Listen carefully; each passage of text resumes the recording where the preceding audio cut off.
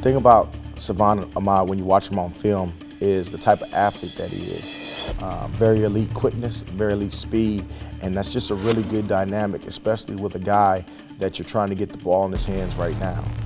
I'm really excited about him. You know, planning on using him some in the backfield, planning on planning on using him some at receiver and different things like that.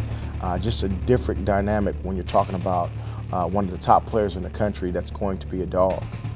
Things that thing that excites me most, probably more than the football part, is him being a homegrown guy right here from Washington. Any chance you can get one of the top players in the state to stay home and wear the purple and gold is exciting for the Dawgs and the rest of the community. Uh, he brings such a great dynamic as a person uh, to this program and to this family and to the running back room, which we call the stable. Uh, I'm, I'm excited for great things over the next couple years with Salvon in our room.